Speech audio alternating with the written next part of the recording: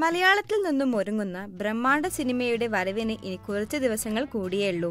നിവിൻ പോളിയെ നായകനാക്കി റോഷൻ ആൻഡ്രൂസ് സംവിധാനം ചെയ്യുന്ന കായംകുളം കൊച്ചുണി ഓഗസ്റ്റ് പതിനഞ്ചിനാണ് റിലീസ് ചെയ്യുന്നത്. പ്രേക്ഷകർ വലിയ പ്രതീക്ഷയോടെ കാത്തിരിക്കുന്ന സിനിമ റിലീസിന് മുൻപ് തന്നെ ഞെട്ടിച്ചിരിക്കുകയാണ്.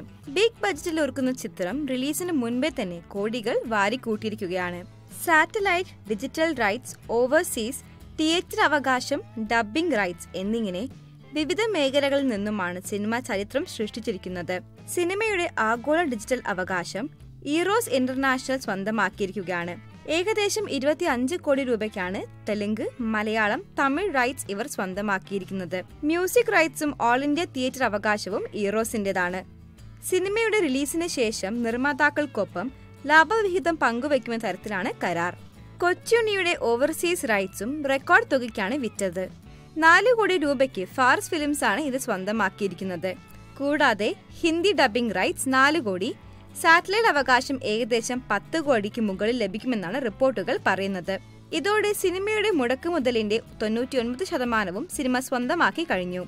മലയാളത്തിൽ ഇതുപോലൊരു വിസ്മയം ഇതിനു മുൻപ് ഉണ്ടായിട്ടില്ലെന്നാണ് പറയുന്നത്.